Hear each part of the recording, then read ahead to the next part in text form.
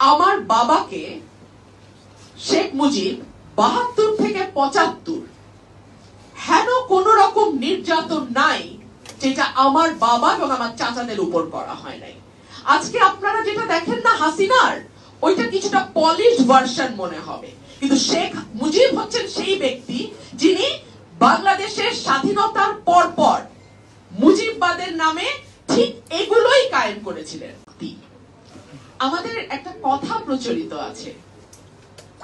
বাপ কা বেটা, সিপাহী কা ঘোড়া, কুছ নেই তো থোড়া থোড়া।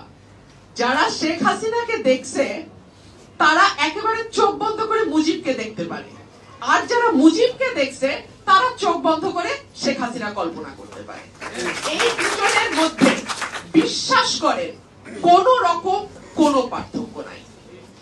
একটা বই বাংলাদেশে দীর্ঘদিন ধরে গোপনে বিক্রি হতো। জাতীয় রাজনীতি পঁয়তাল্লিশ থেকে পঁচাত্তর, অলি আহাদ সাহেব লিখেছিলেন।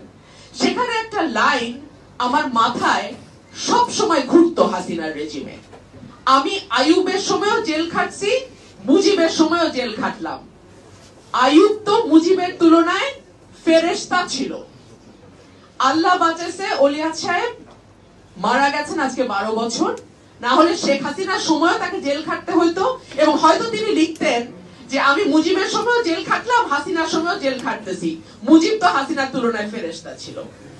হাসিনা এবং মুজিবকে আলাদা করা খুব কঠিন। মুজিববাদ কথাটি প্রথম নিয়ে আসে তোফায়েল আহমেদ, উনিশশো সালে সতেরোই ফেব্রুয়ারি।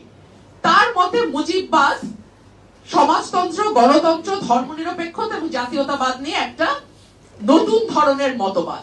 এবং সেই সময় তিনি বলতে দ্বিধা করেন নাই যে আব্রাহাম লিঙ্কন তিনি আমেরিকাকে গণতন্ত্র দিয়েছেন, কিন্তু তিনি সমাজতন্ত্র দিতে পারেন নাই। আবার তিনি কার্ল মার্কসের কথা বলেছেন, কার্ল মার্কস সমাজতন্ত্র দিয়েছে, কিন্তু গণতন্ত্র দিতে পারে নাই। শেখ মুজিব নাকি গণতন্ত্র এবং সমাজতন্ত্রের একটা অদ্ভুত রূপ বা একটা সাকসেসফুল রূপ শেখ মুজিব বাংলাদেশকে দিতে পারবে। এবং সে কারণেই তিনি বলেছিলেন, মুজিববাদ হচ্ছে তৃতীয় মতবাদ। এবং এটার একটা চর্চা সেই সময় শুরু হয়েছিল এবং সেই চর্চার কি পরিণতি সেটা আমি বলব।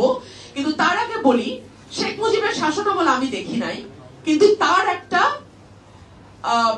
কি বলব, তার রোশানলে পড়া একটি পরিবারে আমার জন্ম। আমার বাবাকে শেখ মুজিব বাহাত্তর থেকে পঁচাত্তর। হেন কোন রকম নির্যাতন নাই যেটা আমার বাবা এবং আমার চাচাদের উপর করা হয় নাই। আজকে আপনারা যেটা দেখেন না হাসিনার ওইটা কিছুটা পলিশ ভার্সন মনে হবে। কিন্তু শেখ মুজিব হচ্ছেন সেই ব্যক্তি যিনি বাংলাদেশের স্বাধীনতার পর পর মুজিববাদের নামে ঠিক এগুলোই কায়েম করেছিলেন। ফর এক্সাম্পল তিয়াত্তরে বাংলাদেশের প্রথম নির্বাচন হয়। সেই নির্বাচনে আওয়ামী লীগের বাইরে খুব বেশি প্রার্থী ছিল না। কয়েকজন ছিল জাসদের প্রার্থী অলিয়াহাত ছিলেন ইন্ডিপেন্ডেন্ট ক্যান্ডিডেট এবং তারা জিতলে কটাই বা জিততে পারতেন? তিনশো আসনের মধ্যে কটাই বা তারা পেতেন? সেটুকু পর্যন্ত শেখ মুজিবের হজম হয় নাই। তিনি অলিয়াহাদের আসন থেকে তাহেরউদ্দিন ঠাকুরকে মানে প্রথম দিন যেদিন ভোট হয়, সেদিন অলিয়াহাদকে বেসরকারি ভাবে জয়ী ঘোষণা করা হয়। পরের দিন তিনি তাহেরউদ্দিনকে সরকারি ভাবে জয়ী ঘোষিত করেন এবং অলিয়াহাদ সাহেবকে ফোন দিয়ে বলেন, কি অলিয়াহাদ জিতলা না তুমি আমাকে ছাড়া? এই হচ্ছে তেহাত্তরের নির্বাচন। বাহাত্তর সালে ডাকসুর নির্বাচন, প্রথম নির্বাচন। ছাত্র ইউনিয়ন সেখানে জয়লাভ করে, ছাত্রলীগ কিন্তু জিততে পারে নাই। তিয়াত্তরের নির্বাচনে ছাত্র ইউনিয়ন, ছাত্রলীগ এক দল হয় ডাকসুর নির্বাচনে, আর জাসদ ছাত্রলীগ আরেকটা প্যানেল দেয়। সেই নির্বাচনে ছাত্র ইউনিয়ন এবং ছাত্রলীগ, মুজিববাদী ছাত্রলীগ, তারা ব্যালট বাক্স ছিনতাই করে, গোলাগুলি করে ডাকাতি করে? এবং সেই গোলাগুলির দায় মোজাহিদুল ইসলাম সেলিম তখন ছিলেন ছাত্র ইউনিয়ন। তিনি দায় চাপান জাসদ ছাত্রলীগের উপরে।